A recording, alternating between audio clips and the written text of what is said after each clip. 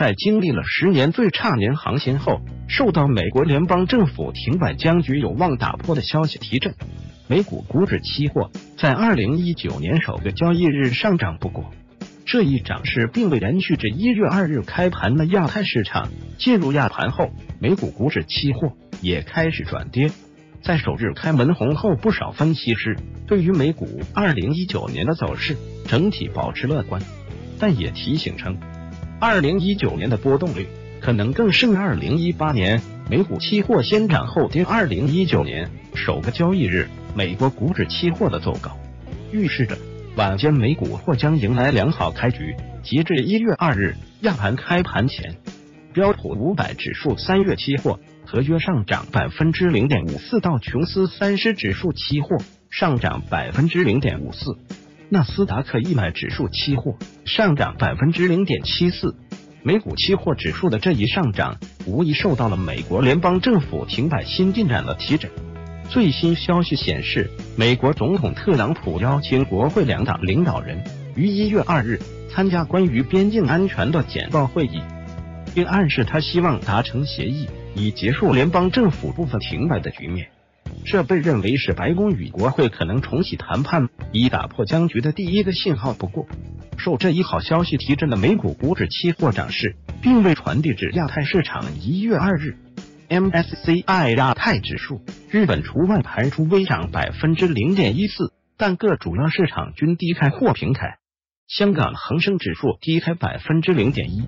韩国首尔综指二零一九年首日盘出变动不大，澳洲 ASX 二百指数盘出跌百分之零点四。日本股市今明日两日因元旦假期休市，与此同时，进入亚盘后，标普五百指数三月期货合约下跌百分之零点五四，道琼斯三十指数期货下跌百分之零点五二，纳斯达克一百指数期货下跌百分之零点五三。今年。美股波动或加剧。纵观二零一八年，标普累跌百分之六点二四，道指累跌百分之五点六三，纳指累跌百分之三点八八，均创两千零八年以来最大的年度百分比跌幅。纳指由此终结了六年连涨，标普和道指也出现了三年以来首次年度下跌。花旗银行中国有限公司零售银行投资策略主管吴晶晶对第一财经记者表示。二零一九年，考虑到风险回报状况的改善，美国股市或带给投资者更高回报。分析历史数据，当 CPI 通胀率维持在百分之二至百分之三区间时，市场预期市盈率或为十八倍左右。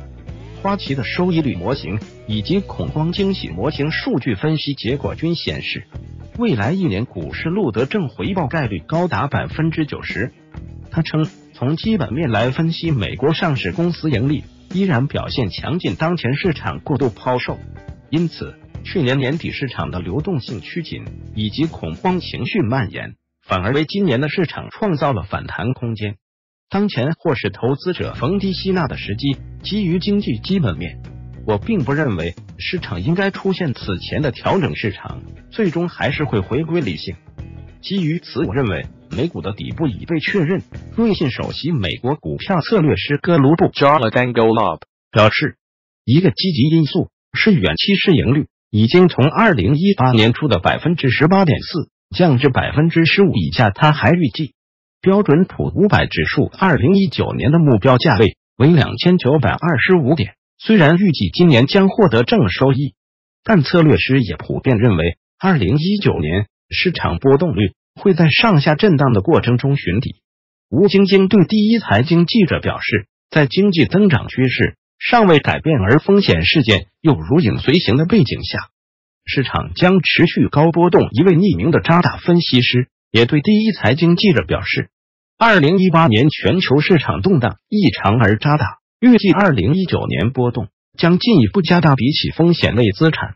建议多持有现金和配置债券类资产。QMA 首席投资策略师兼基金经理吉恩埃德根表示，去年十二月是他交易最活跃的月份之一。他在每一次反弹中卖出，直到十二月最后一周，他开始以更便宜的价格买入大量股票。这是一个交投非常活跃的月份。我们通常不会在一个月内进行大量的交易。我们仍然保持谨慎。”基恩说道。除了美国联邦政府停摆，美联储加息更无疑是美股消息面的主导因素之一。随着美联储二零一八年的最后一次加息决定落定，市场经历了一次戏剧性的回调。